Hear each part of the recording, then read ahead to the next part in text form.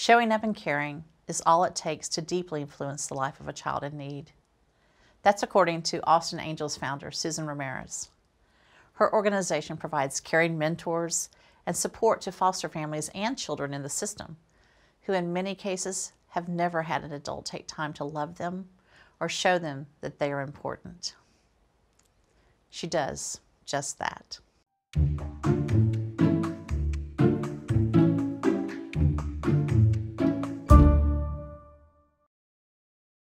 Well, welcome, Susan. I'm so glad to have you here. Thank you so much for coming. Thank you for having me. Tell me a little bit about uh, Austin Angels and tell me then what you do and how you got started there. Oh, we started Austin Angels as a New Year's resolution back in 2010 just to volunteer in our community just one day a month. And never really had a dream or desire to be running a nonprofit and now a national nonprofit. So I had gone to a conference um, early on in 2010, and the conference just forever changed my life. Um, I had always felt like adoption was going to play some role in my life, but didn't really know what that meant. And I stumbled into a foster and adoption conference. And I had a friend with me who had a breakout manual who said, Hey, why don't you go and listen to this judge speak? He's going to be speaking on foster care. And I said, No, I'm not interested in foster care. I'm not really built that way. I don't know how to love on children, let them into my home and then have them be removed. And the friend said, Well, you know, Susan, the interesting thing about foster care is that it's not really about you, it's about the children. And wouldn't it be nice for somebody like you to open up your home? I don't know how many times in your life, like the one decision you made completely changed the whole trajectory. But for me, it was going into that conference wow. because at that conference, I learned about all the statistics and things that um, plague the foster care system. And so that was the real impetus to um, take a direction of just wanting to volunteer one day a month and now solely focused on how do we recreate the way that children and families experience the foster care system. How did it come about I mean, yeah. that you decided to birth this program? One of the statistics that really just drive me for change is that on average, children in the foster care system will move seven different times in two years. So that's just on average. There's many children that over the course of their life in foster care will move 22, 23 different times, which is absurd. And every time a child moves, they're six months behind from an educational standpoint. That's why 50% of children will not graduate high school. Not to mention, every time a child moves, it's new mommies and daddies, new sets of friends if they even make them, new teachers, new communities. And, you know, every time a child moves, they pack up their grocery sack or their black trash bag full of belongings and they move from home to home to home. And the statistics say that 50% won't graduate high school, 97% will not go on to college, even though they have a full ride to any state school. Um, 50% of our homeless population spent time in foster care. And there's um, all different stats that say the majority of our prison population spent time in foster care. And so when we first started Austin Angels, it was how can we let children experience care differently? So we started by doing community service projects. We'd go into girls' homes and we would do days of beauty for them, have their hair done and makeup done, hire estheticians and nail techs. And it was great, but the truth is is that we weren't changing the trajectory of their life. So they were still going to age out at 18 and end up as a statistic. So in 2013, we, we launched our pilot program of the Love Box campaign. And we said, how do we rewrite those statistics? Because I believe that every single child should have the opportunity to grow up to reach their fullest potential. Um, it, it, we, it shouldn't be this way, and it doesn't have to be this way, and we can change it. So let's go back to the Love Box. Tell us about it. And basically, what it is, is we tell people, whoever you're already doing life with, whether it's your book club or your small group or your coworkers, you basically adopt an entire foster family and we match you based on zip code and what we would call a need assessment.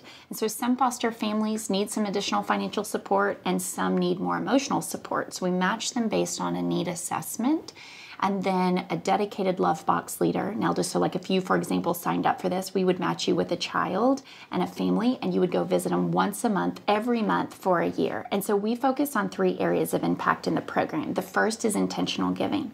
So if you got paired with little Jimmy and Johnny, for example, the majority of times when children get pulled from their home and they arrive at the new home, they have very little belongings. And so the love box leader would be responsible for making sure that the family had everything that they needed in terms of does Jimmy and Johnny have school clothes and um, their favorite snacks and cereal, things that they need, but also things that they want. Um, so the first area is intentional giving. The second area is relationship building. So if Jimmy and Johnny always wanted to be in baseball, um, then the Love Box group and the leader would sign him up for baseball, be there for games and practices, cheer him on. And then the last component is mentorship and we um, look at whether they're two years old or 21 years old doesn't matter to us that you can mentor a child. And that looks like reading to them getting on the floor and playing matching games or flashcards visiting them at school you know just having somebody accountable that says hey i care about you and i care about your grades and we want you to graduate and we will walk this journey with you and for our older kids, that looks like getting a driver's license and opening up a bank account and beginning to prepare them for adult living. What a beautiful idea. Instead of just giving something one time, right? That's right. There, there's a commitment. I'm just curious have any of your Love Box groups stayed with a child? We're not interested in just putting a band aid on a problem. And we know that kids need backpacks and they need beds and they need things. But what they need more is a dedicated person that shows up in their life over and over and over again and says, Your life matters and it matters to me. And that's, I think, what makes our program so unique and so special because these kids are so special and they deserve to have somebody who knows the color of their eyes and the passions of their heart. Our hope is that we require a minimum of a year, but once the adult, you know, falls in love with the kid, we hope that they stay with them forever. We believe in relational permanency, and that's what we're really striving for. So, for example, I have a girl named Lisa that I have sponsored for three years, and now she is in her 20s and just had her first child. And so, you know, she calls me all the time about, you know, my son has pink in his eye. What does that mean? I'm like, that's pink eye, and we need to get him to the doctor to get an antibiotic. You know, just because you're 18 years old and age out of the system doesn't mean that you have it all figured out. In fact, I don't know many 18 year olds that have it all figured out. And so the hope is that we have a relationship with them forever. And that mentor is there for them. Yes, exactly. That's wonderful. Yeah. That's wonderful.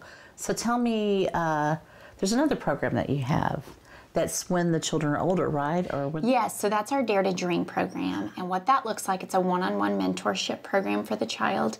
And in our mentorship program, they have to hit 10 milestones. So they have to go through a process in which they get their driver's license, they open up a bank account, and then they work with the mentor one-on-one to assess where do we go from here when you age out at 18. So we give them basically three options. You're either gonna go to trade school, you're gonna go to college, or you're gonna go to a branch of service. Which one of these do you you want. And many times they're like, I don't even know. So the mentor will take them on recruitment trips and meet with different military recruiters or go and sit and do a presentation with welding school or plumbing school or beauty school. Um, you know, we know that college is not for everyone, but aging out of the system and not having a plan or going and working at McDonald's is not a lifelong sustainable plan. So we know that if we can empower children and educate them and be a resource for them, that they can rise to their fullest potential. You talked about two different young men yes. who were in the who were in the foster care system. Yes.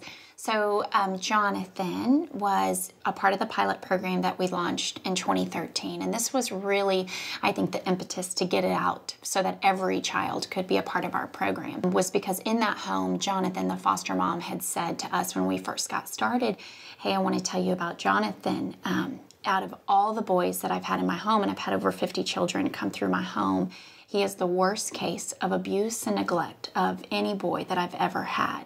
And so the mom had said that in fact, when she got his file, she had only gotten through the first two pages and had to shut it and put it away because it was so horrific. And this young man had been in many, many placements in his young life. And in this particular home, it was the last stop before you would end up in a residential treatment center. So it was, you know, it's a pretty therapeutic, intensive home. And so, um, Jonathan, when we started with him, you know, he had no self esteem whatsoever, couldn't even look at you in the eyes. And so, for the first couple of months, it was kind of like, what are you doing here? Why do you want to love on us? I don't really understand or get it, you know? And um, that we had just worked with him month after month after month, kind of building up his self esteem. It was back to school time, and so we had given Jonathan and all the boys in the home a brand new backpack. We had written like a Dr. Seuss quote on a card, and we said, Jonathan, we hear that you want to go out for the football team. And he said, I do, but it's never going to happen for me because I don't make good grades. And you have to make good grades in order to make the football team. And we said, Jonathan, we just believe that this is your year. And we want you to take that little encouraging note We want you to put it on your poster board bed. And every morning when you wake up, we want you to read it out loud to yourself and know that we have already, you know, thought about you and prayed before you. And like, we believe that this is your year. Every morning, Jonathan would wake up and he would read that out loud to himself. And he went to school. And his mama called us at progress report card time and said, Susan, you are not going to believe this. But the little boy who has no self esteem, the little boy who doesn't believe in himself, just brought home his progress report card and brought home straight A's. And that was really special to us because what we realized in the pilot of the program is that we just made a little boy believe in himself for the first time. And now he's getting ready to graduate high school and he's been on the football team successfully and we've been there to cheer him on at games. And, you know, I think the sky's the limit for him. When a child believes that they're worthy and a child believes that they can rise to their fullest potential, they go there. But if they believe that nobody loves them and that who are they and they don't deserve anything, then they stay there. And so it was a real mind shift for Jonathan, and um, that was a real, real incredible experience for us to be able to witness that. And then another little boy in the same home, um, his name is Ryan, and Ryan is real special to me.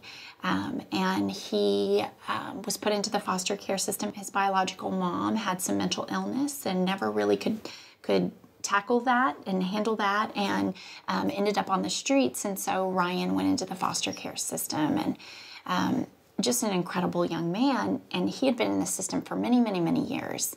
And he was actually in that home for a few years.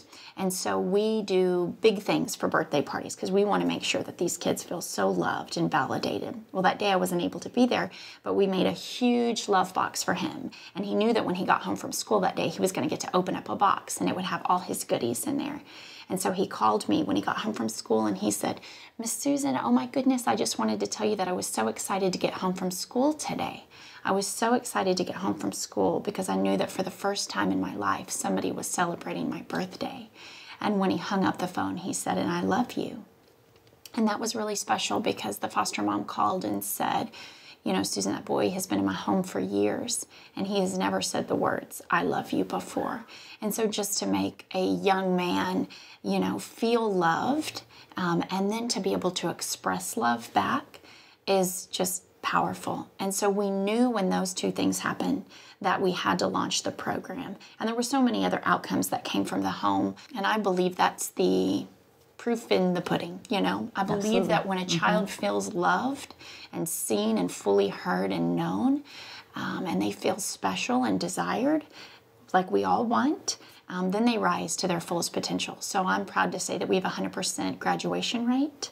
Wow. And um, and there's just so many blessings, you know. That's an amazing program. change, is it not? Yes. 100% graduation. So how have you expanded? In 2016, we piloted our first program and we ran it all of 2016 and all in 2017. And then in 2018, we launched it and we had um, 10 chapters at the end of last year all over the country. And we have 15 chapters that will come online in 2019. But the goal is to reach every child in foster care. So we have a pretty aggressive, ambition, ambitious goal. And that is that we want every child and every family served in our program. How's the program been recognized then? We have a partnership now with the University of Texas. Their social work department is walking alongside us and they're researching us right now because there's so much validity in our program and now we need to prove it. And so having that research is going to be a huge game changer Absolutely. for us. Yeah. And then we also have people in the child welfare world that recognizes it and sees it as a value. We have a partnership with the state of Texas and so we get direct referrals from the state of Texas as well as every single placement agency in Central Texas.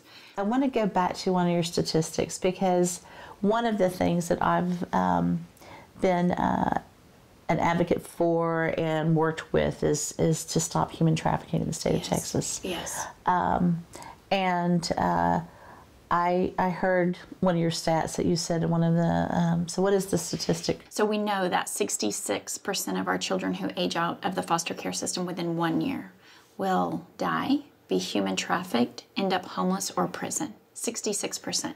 So the odds are stacked so against you in the system. And that's what we're trying to rewrite.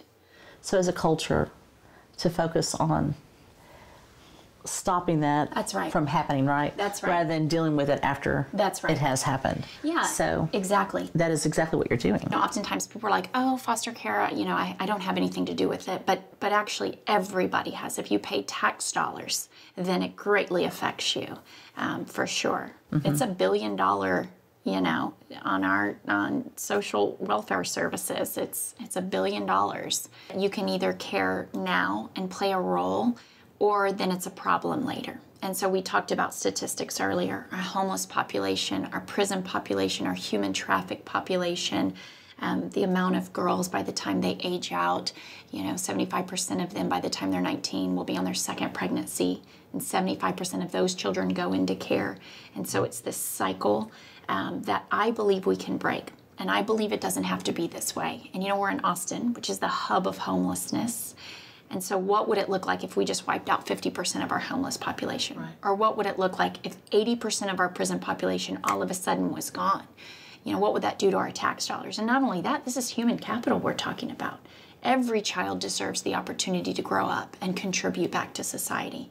And these kids want a hand up, not a handout. And Right. that's the difference. And it does make a difference, doesn't it? Yes. Is to take them and change the life rather than just try to pay for something to right. later, right? But I mean to actually change their lives and change the trajectory that they're on. How many children have y'all been able to reach then? Uh, we started with six boys. Wow. Yeah, we started with six boys. Yes. And so last year we served 1,068 children, and that's amazing. But there's this gap between where we are today and where we need to be. And so our goal is to serve every child in every family, not only in Central Texas, but across the nation. So nationally, there's 423,000 children on any given day in the foster care system. And in Central Texas, there's about 5,600. So when you think about the thousand we have served, there's a we have a long ways to go. But you know what? We're going to get there. I just appreciate your work so much. Thank you so much for uh, not only your calling, but for answering it and for stepping up to the plate the way you have. it takes normal people to just walk alongside. You know, oftentimes people are like, well, you know, who am I to volunteer? Um, but the truth is, is that they don't need you to be extraordinary. They need you to be just ordinary and show up, you know? And I tell people, can you read? Because if you can read, you can go and sit with a three year old who's never been read to before. Mm-hmm. You know, it doesn't have to be complicated, it's just showing up consistently. And that's that's where the real change happens. I'm just really honored to interview you. Thank you. Honored to spend some time with you.